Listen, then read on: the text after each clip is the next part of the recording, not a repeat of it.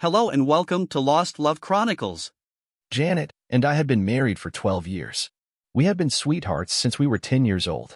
I was never interested in college, so I got an entry-level job at Desmond Engineering as a draftsman right out of high school.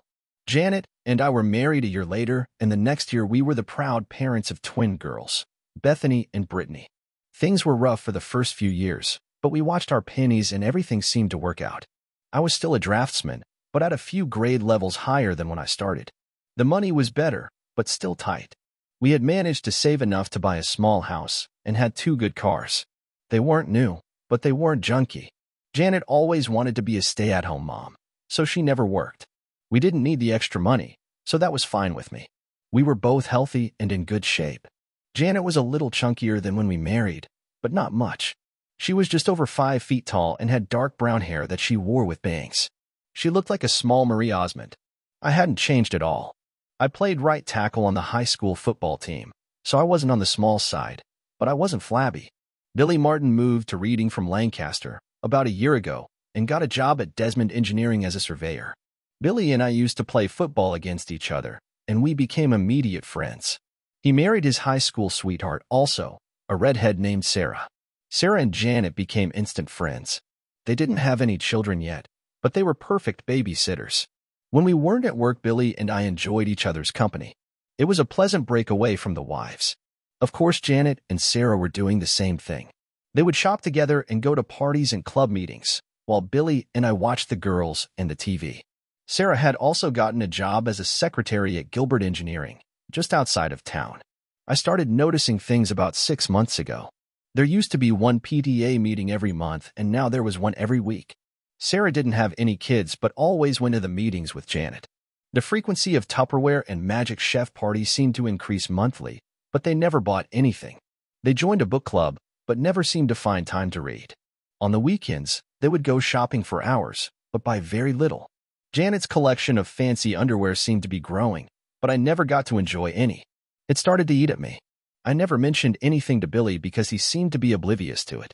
I didn't want to cause trouble if there was nothing going on. About an hour after I put the girls to bed, Janet came home from a basket party of some sorts.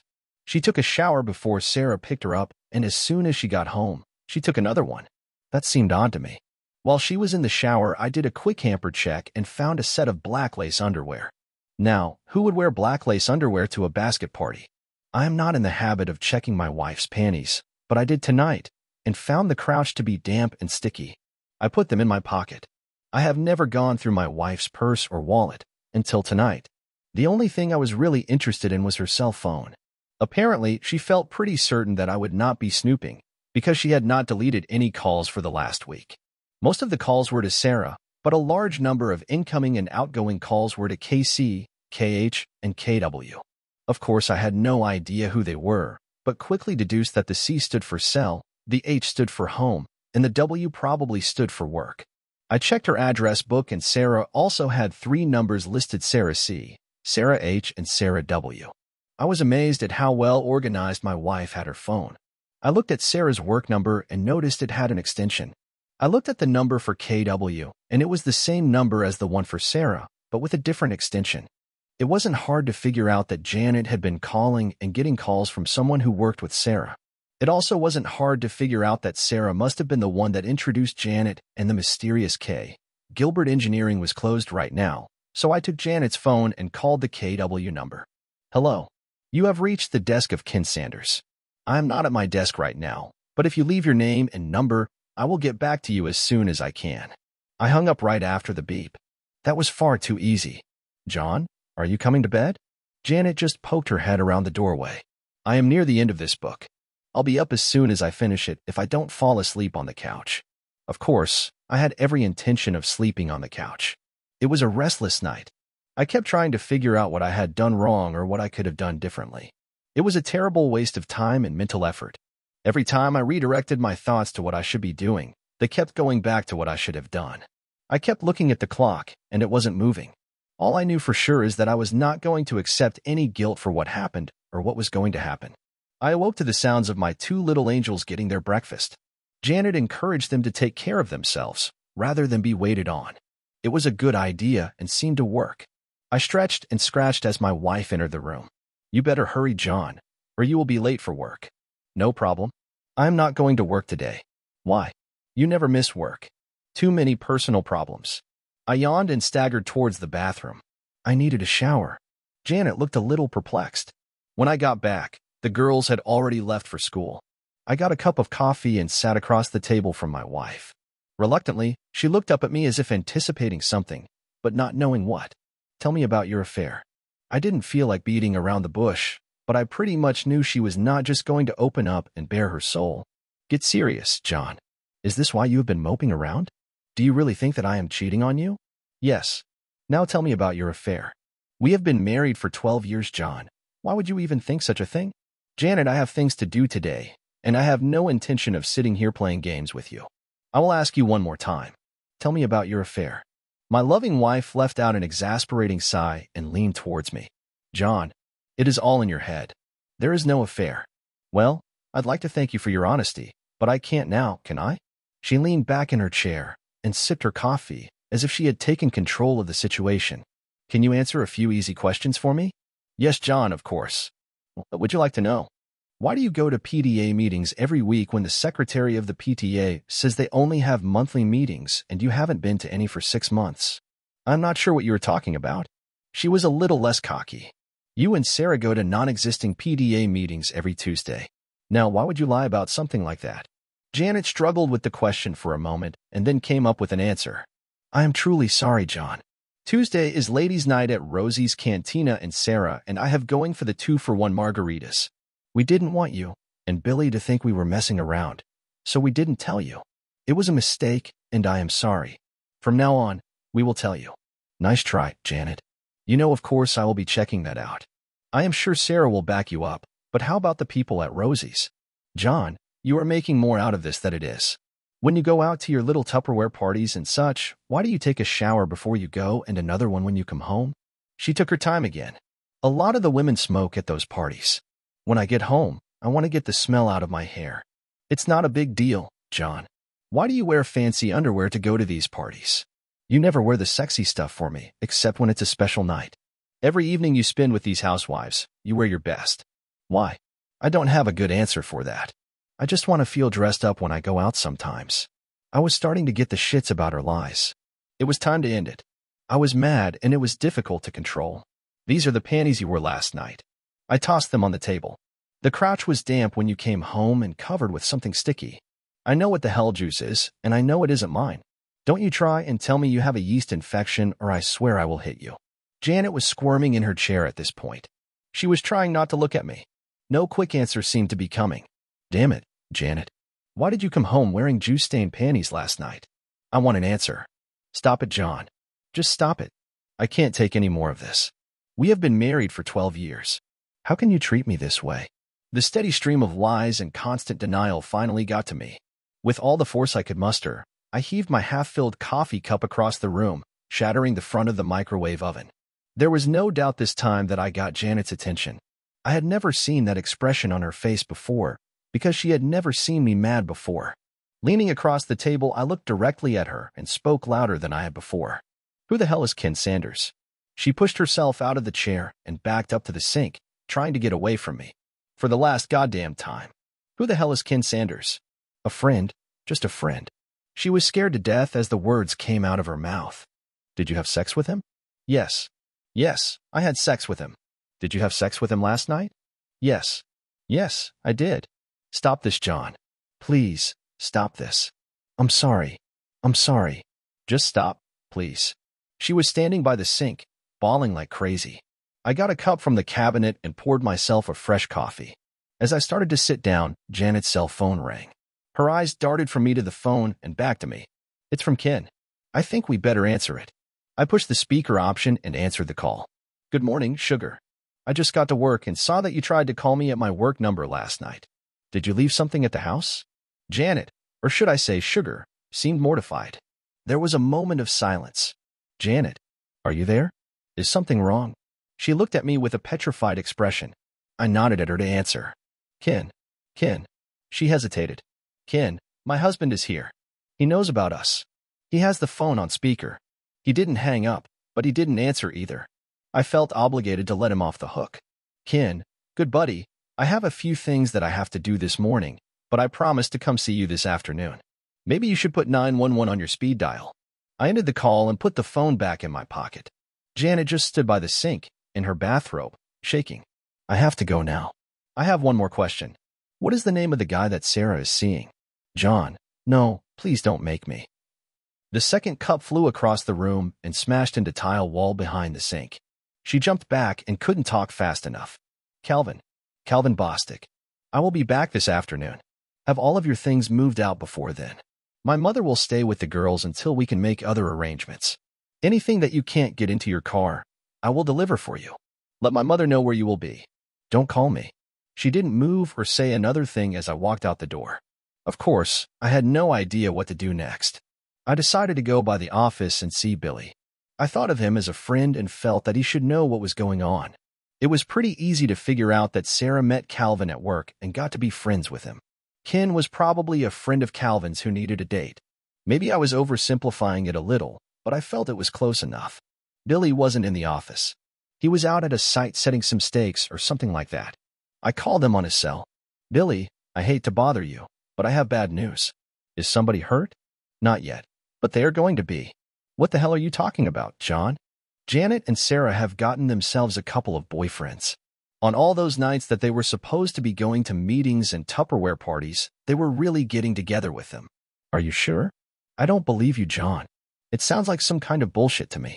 Ask Sarah about a guy named Calvin Bostic. He works at Gilbert with her.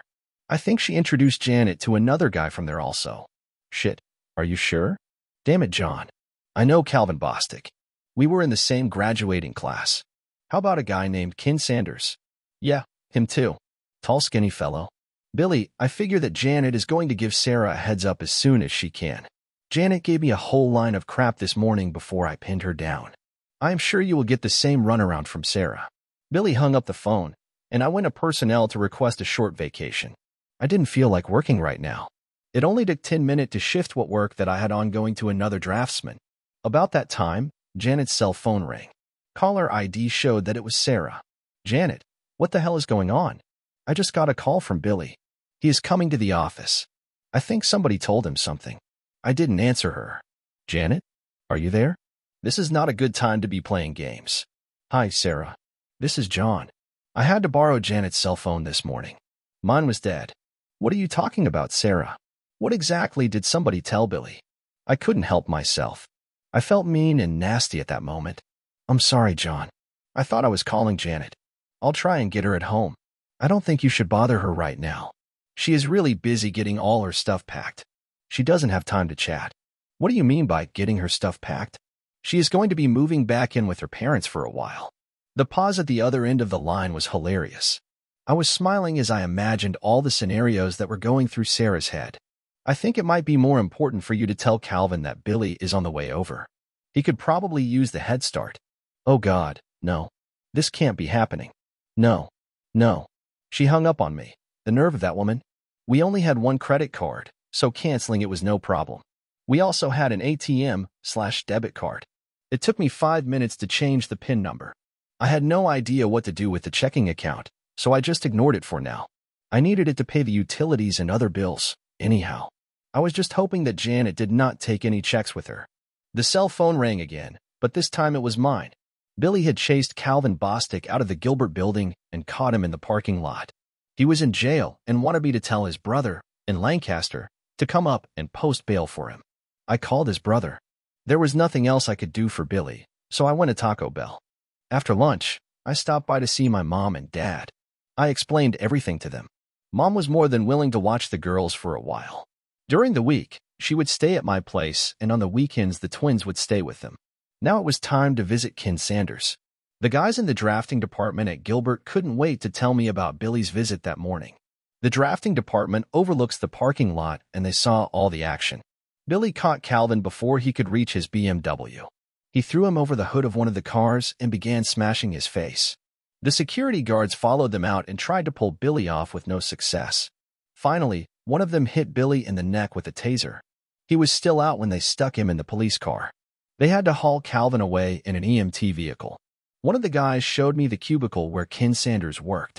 It was empty. Seems like old Ken suddenly quit this morning. We went by Sarah's desk, and she was not there either, but it looked as if she still worked there. Ten minutes later, I had Ken's home address, and I was headed for the parking lot. It was a small ranch house with no garage. There was a white Lexus in the driveway with the trunk and back doors open. As I walked up to the door, Ken Sanders was coming out with an armload of clothing.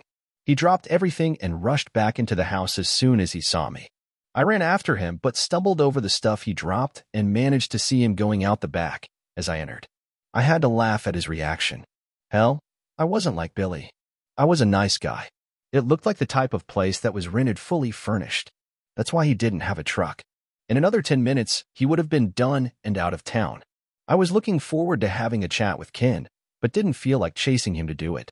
I looked around the room for anything interesting and got a few nice surprises. The first thing I picked up was his cell phone. It was on a desk in the living room beside a folder containing his passport and some personal papers. On the dining room table was a nice little laptop computer. I couldn't find anything else, so I gathered up the few goodies that I had and left. I didn't want to do anything that could be considered criminal, so I resisted the impulse to trash his car. It was beautiful.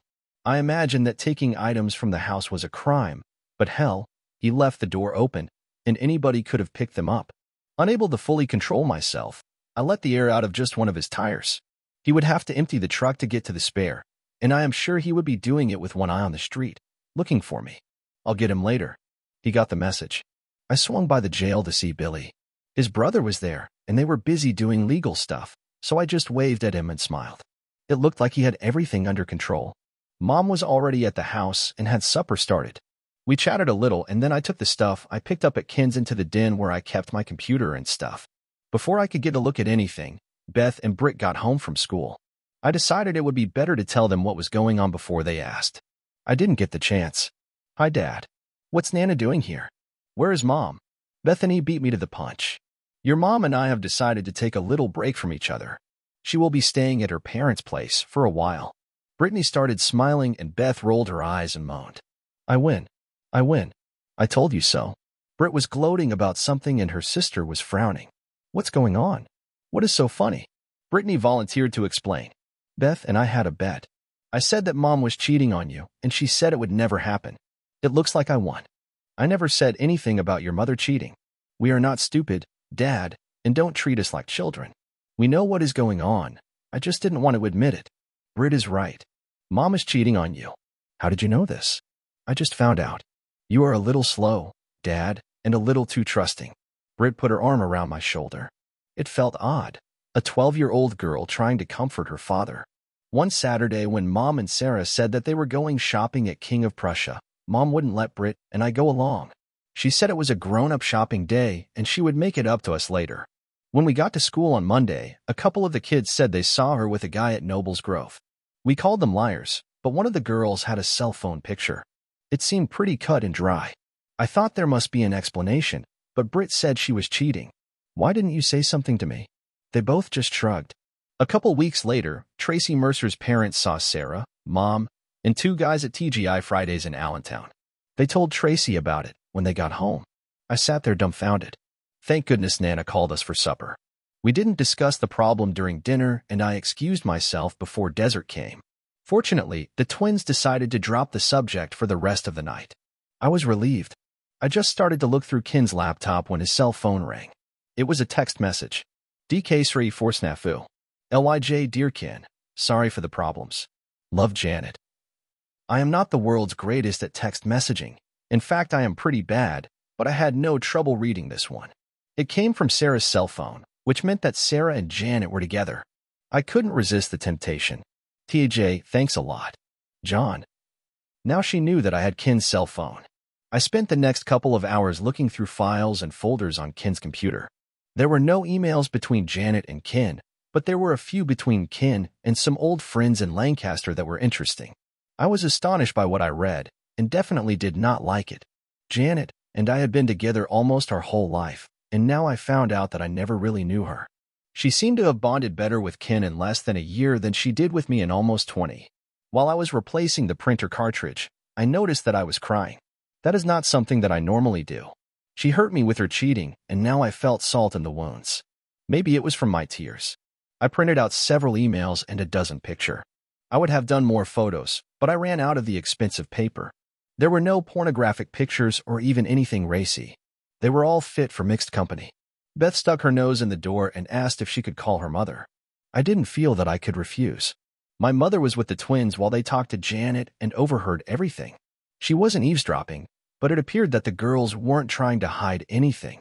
Mom told me later that they did not cut Janet any slack and blamed the entire problem on her. The conversation lasted less than five minutes. The emails were extremely interesting. Ken had applied for and was hired as an engineer for an alternative power project in Spain. His starting date was in six weeks. Apparently, he had not given notice at Gilbert that he was leaving. I am sure that Sarah knew, but nobody else there mentioned it. He had all the papers ready for the trip, except I had his passport. I am sure he could get a replacement, but he better hurry if he wanted to make his start date. I guess he could always go to the police and report that I pilfered it, but I didn't think he would do that. He hadn't made any plane reservations yet. One of the emails is to a close friend explained a lot of things. Janet was planning on getting a divorce after she joined Ken in Spain. She realized that I would never allow her to take the girls out of the country, so she was going to have me declared an unfit father. The letter didn't go into a lot of detail as to how she was going to accomplish this, but indicated that it would be severe enough to deny me visitation rights with the twins or custody. Now, that was downright mean. Ken was the one writing this letter, so it was all hearsay. I would have liked to have something original from Janet describing it, but I had to make do with what I had. I printed out several copies of this letter. Mom was falling asleep watching Leno, so I sent her up to our bedroom. The girls were already in bed, I fell asleep on the couch with four empty beer bottles on the coffee table. I woke up to the smell of fresh coffee and bacon. Mom always put out a good breakfast. The girls were finishing their cereal when I made it to the table. I had to endure a few good-natured digs before I could get started on my eggs. The conversation was light until it was time for the bus. Girls, I am afraid that your mother is going to try and separate us. She is planning on having me identified as an unfit parent so that she can have you all to herself. I have no problem with shared custody, if that will make the two of you happy, but I will not give up my right to see you and be with you. I don't want you to have to choose sides, but I want you to know what is going on. Be careful and don't listen to any lies. Dad, we are smarter than you think. Don't worry about anything. We love Mom, but we are not going to let her screw you or us. Brittany was smiling and Beth gave me a thumbs up as they walked out the door. Mom filled my cup and sat down with one of her own. Relax, John. Everybody is on your side. After showering and shaving, I put on some clothing that was a little better than I normally wear. I felt a little odd when I left the house because I had three cell phones with me. I made a mental note to get a charger for the cell phone that I got from Ken. I probably wouldn't need it, but I'd rather be prepared. I signed in at the Family Services office and waited for a caseworker to call me. I was embarrassed when I finally got called because I happened to know the lady that came out to help me. John Terrell, I haven't seen you in over 10 years. What have you been up to? Jody Mitchell was easy to remember.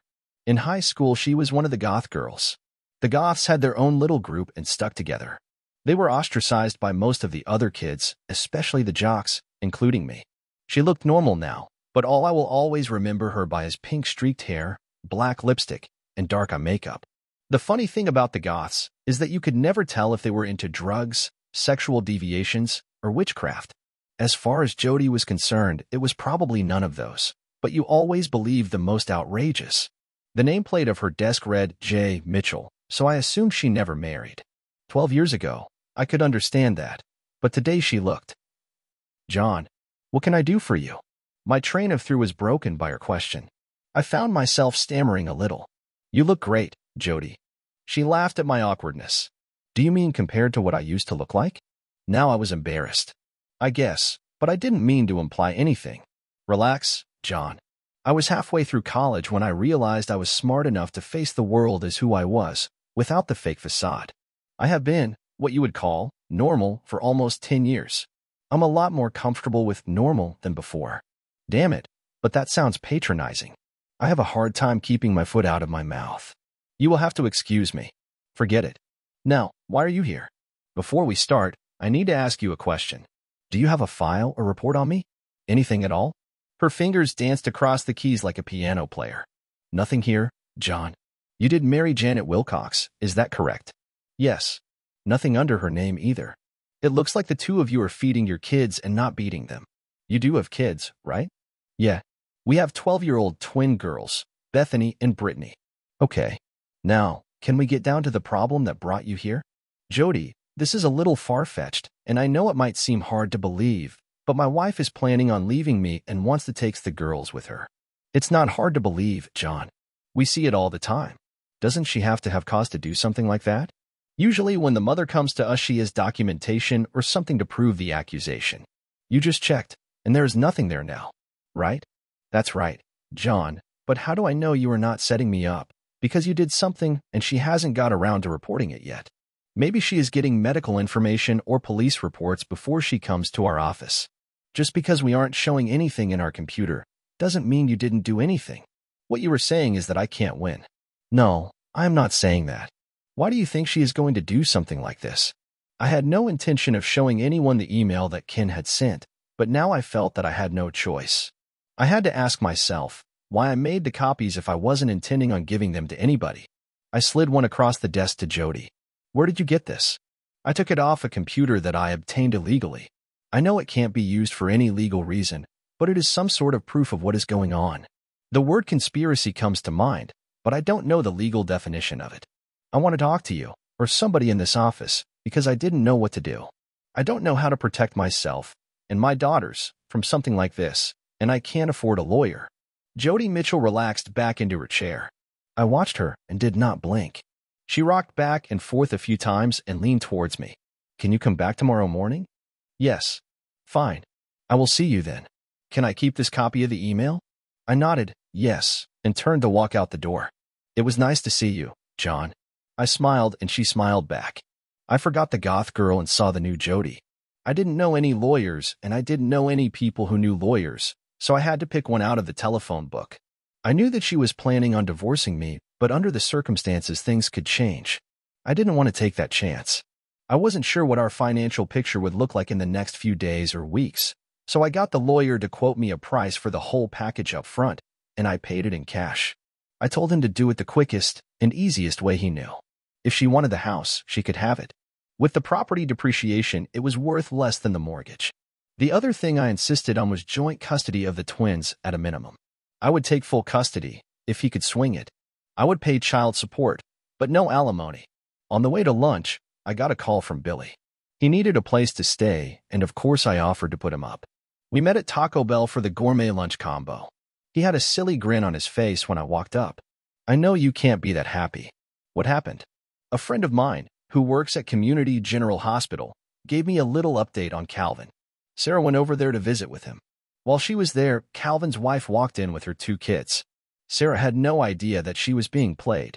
It got so messy that the hospital security people had to escort Sarah out. I went by Gilbert to talk to her, and she was no longer there. She had quit. I guess she must be at home right now, but I am not sure. Why wasn't his wife living up here with him? I don't know. Why wasn't he going home to his wife and kids on the weekends? Don't know that either. To be honest with you, I don't give a shit. Billy took a week off from work, so he could get things straightened out.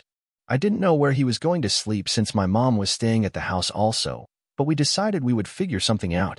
He was going to swing by his place to try and pick up some clothing and his personal stuff, just in case Sarah was not there. He decided he didn't want to talk to her after all. I was headed for my insurance agent, but I never made it because the cell phone rang again. John, it's Cameron Wilcox. Can you come over to the house for a while so we can try and sort things out? Janet is a wreck and her mother isn't helping. Who is going to be there? The three of us and Janet's sister, Carla. I'm not sure what you hope to accomplish, but I'll be there in about 20 minutes. It was a somber group. I took my folder of goodies in with me, and I declined the coffee. Who wants to start? John, Janet seems to think that you are overreacting a little. She claims that you were raging mad and forced her to say things that were not true in order to calm you down. She claims that she did nothing wrong and you have no right to throw her out. I got the distinct impression that my dear wife had related a very sanitized version of what happened to her parents. I can understand why she would not want to admit her infidelity to them, but resented the fact that she shifted the blame to me. What do you want me to do, Cameron?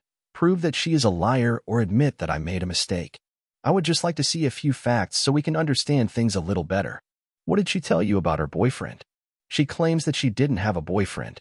She just had a few drinks with some friends that Sarah worked with and that you misinterpreted it.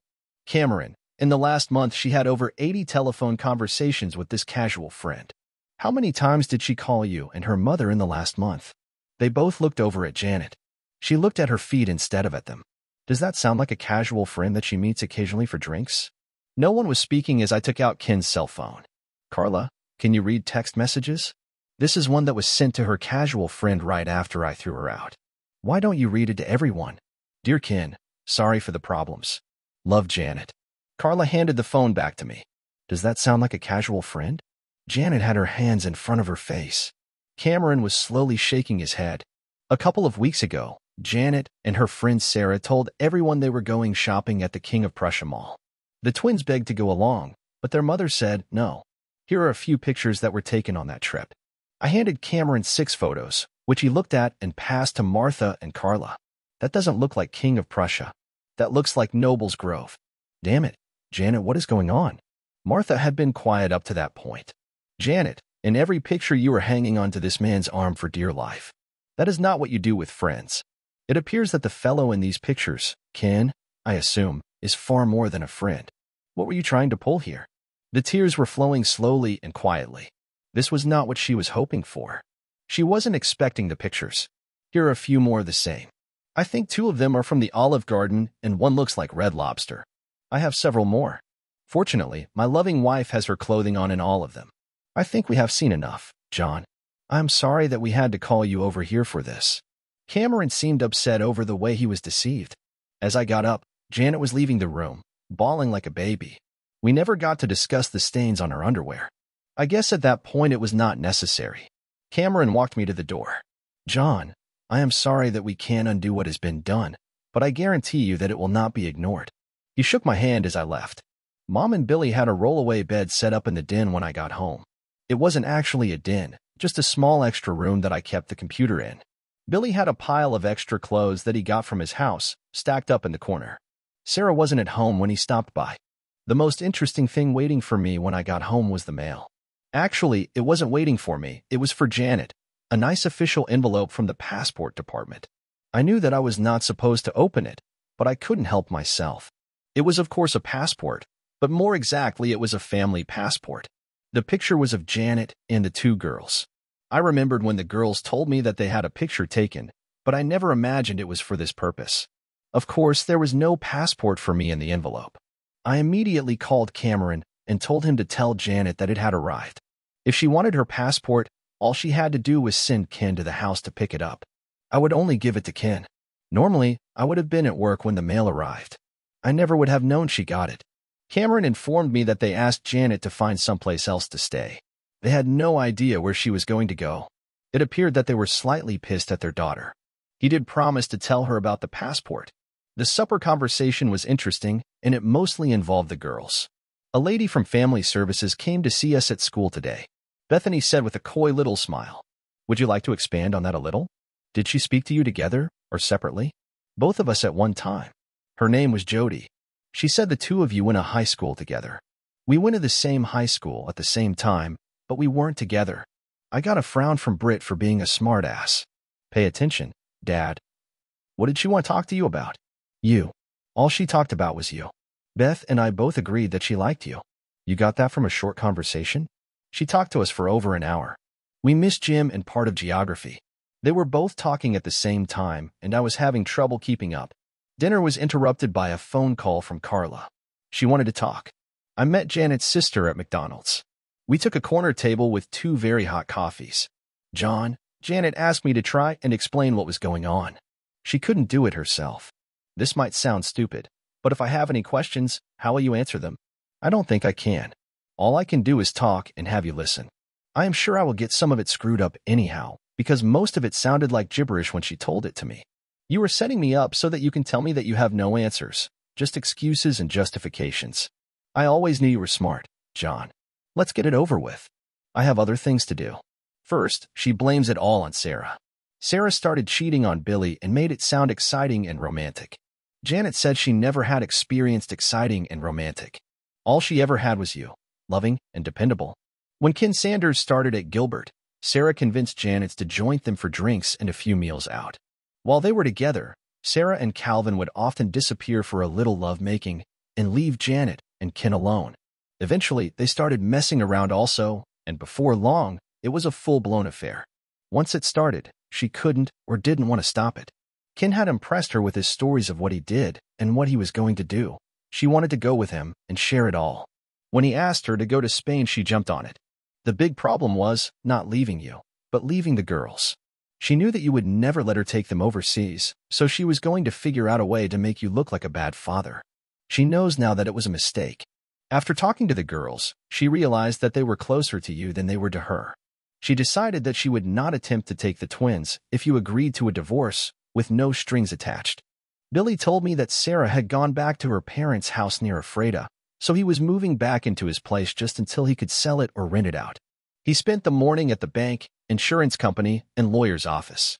He wanted to try and get some money out of Gilbert, but they had no company policy against fraternization. His lawyers said it would be an uphill battle. He went by the hospital and found out that Calvin was being released. His wife was taking care of the discharge paperwork when she saw Billy. Before he could get away, she cornered him and carefully explained that she was trying to get Calvin to drop the charges against him. He was really surprised when she thanked him for all his help. Apparently, she had been trying to straighten out Calvin for several years with no success. After Billy took off, I just sat on the front porch and drank beer. Mom brought me out a meatloaf sandwich and sat with me for a while. She didn't say anything, but she did have a beer. She said Dad was coming over for supper and would be staying the night. When Jody Mitchell pulled up, Mom went into the house. Jody sat beside me but refused the cold beer I offered.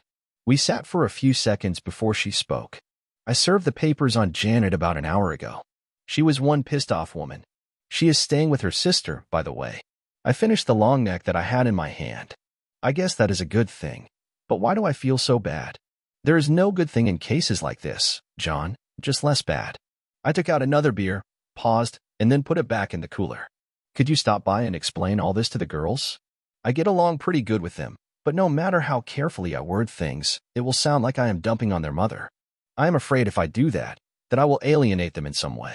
I don't want to do that. How about seven tonight? I nodded as she got up and walked to her car. She stopped halfway and looked back. That was a good sign, and I smiled. She smiled back. Jody came by that night and spent a long time with Beth and Britt. Billy and I were busy going through his house and cleaning out everything that was Sarah's or that reminded him of Sarah. Jody started to come over to the house several times a week. Pretty soon, she was spending as much time with my mom as she was with the girls. I noticed that she was ignoring me. I was comfortable with that, but curious. One night, after the girls went to bed, she sat down beside me. I felt that I had to talk to her. I didn't get the chance. She spoke first. Danny, do you have any wine? Well, sort of. My conversation skills still needed work. What does that mean? I don't have anything with a cork in it. I have wine, but it all has screw tops. She seemed to think that was funny. Get me something red, will you, and bring the bottle. Well, the bottle was more like a jug, but she didn't seem to mind. I poured, and we sipped. I finally forced myself to break the ice. I guess the girls are getting a lot from your visits. How long are you going to have to see them? Oh, the twins are fine. They don't need to see me. I come over here to see you. I don't understand. You hardly even talk to me when you are here.